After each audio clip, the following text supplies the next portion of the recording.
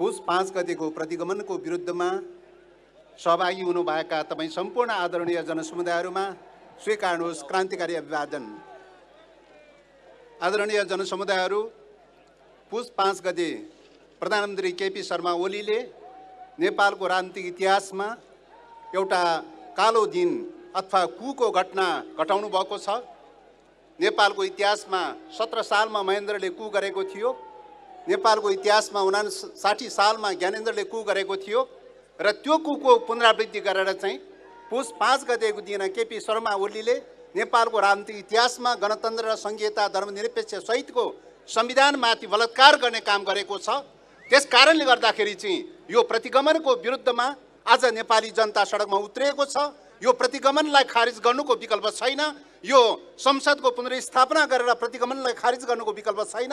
त्यस कारणले गर्दाखेरि यतिखेर आम यतिखेर हाम्रो पार्टी सम्पूर्ण नेपाली जनता एक ढिक्का भएर चाहिँ यो प्रतिगमनको विरुद्धमा र संविधानको रक्षाको निम्ति उभिन्नलाई आग्रह गरिरहेको छ र यही क्रममा चाहिँ यतिखेर चाहिँ प्रतिगमनको कदमको बारेमा संसदको विघटनको बारेमा पटक पटक यस्ता खालका तर्कहरू गरिरहेछन् संविधानमा कुनै परिक्रमा गरेको छैन। संसद विघटनको कुनै परिक्रमा गरेको छैन।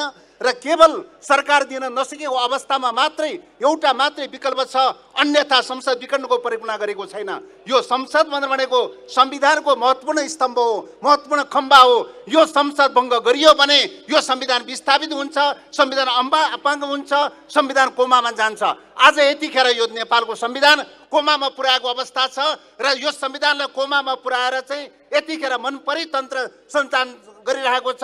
केपी शर्मा ओलीले र केयर टेकर गभर्मेन्टमा गइसकेको काम चलाउ सरकारमा गइसकेको केपी शर्मा ओलीले तथा नामी रूपले संवैधानिक अङ्गहरूको नियुक्ति गरिरहेको छ असमान प्रकारको चाहिँ जलस्रोत सम्झौताहरू गरिरहेको छ र यसरी चाहिँ राजनीतिक नीतिहरू गरिरहेको छ मन्त्रीमण्डल विस्तार गरिरहेको छ। अहिलेसम्मको इतिहासमा चाहिँ लोकतन्त्रको इतिहासमा काम चलाउमा परिणत भइसकेको चाहिँ कुनै पनि सरकारले चाहिँ राजनीति नियुक्तिहरू गर्न सक्दैन नीतिगत निर्णय गर्न सक्दैन। केवल काम चलाउ मात्रै हो दैनिक प्रशासन सञ्चालन गर्ने मात्रै हो। तर पनि चाहिँ यतिखेर लोकतन्त्रको अपहरण गरेर मनपरी तन्त्र शासन सुरु गरिरहेको छ। त्यसो भएको हुनाले चाहिँ आज मुलुकको संविधानको रक्षाको निम्ति सङ्घीय लोकतान्त्रिक गणतन्त्रको रक्षाको निम्ति सम्पूर्ण नेपाली जनता एकजुट भएर चाहिँ यो प्रतिगमनलाई बरा पश्चात गर्न जरुरी छ यदि हामीले यसलाई परास्त गर्न सकेनौँ यसलाई विस्थापित गर्न सकेनौँ भने यो लोकतन्त्र विस्थापित हुनेछ गणतन्त्र विस्थापित हुनेछ र ताजा जनादेशको नाममा चाहिँ ताजा जनादेशको नाममा वैशाखमा चुनाव गर्ने भनेर आएको छ। ताजा जनादेश संविधानले व्यवस्था गरेको छ संविधानले पाँच वर्षमा निर्वाचनको व्यवस्था गरेको छ। त्योभन्दा अर्को चाहिँ निर्वाचन चिन्दैन नेपाली जनताले नेपालको संविधानले चिन्दैन चाहिँ। त्यस कारणले नेपालको संविधानले चिन्ने भनेर भनेको पाँच वर्षको आवधिक निर्वाचन हो र संविधान मिचेर गरिने खालको निर्वाचन भनेर भनेको के हो त भन्दाखेरि चाहिँ मुलुकमा तानाशाही तन्त्र फाँसीवादी तन्त्र कायम राख्नु हो र त्यस प्रकारको निर्वाचनबाट ल्याउने संसद भनेर भनेको राष्ट्रिय पञ्चायतको जतिको पनि अधिकार नभएको चाहिँ तपाईँको प्रधानमन्त्रीको रबर स्टाम्पको रूपमा बनाइने संसद हो र प्रधानमन्त्रीको रबर स्टाम्पको रूपमा बनाइने संसदले चाहिँ प्रकारान्तर रूपले सर्वसत्तावादको पुनरावृत्ति हुनेछ निरङ्कुश तन्त्रको पुनरावृत्ति हुनेछ जङ्गी शासनको पुनरावृत्ति हुनेछ।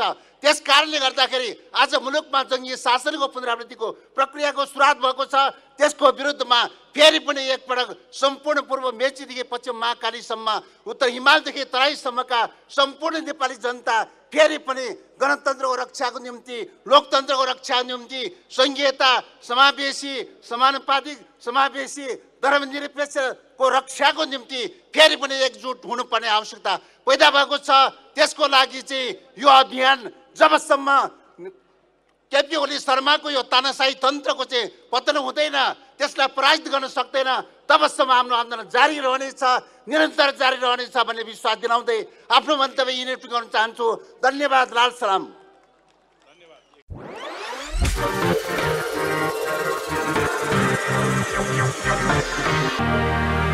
you.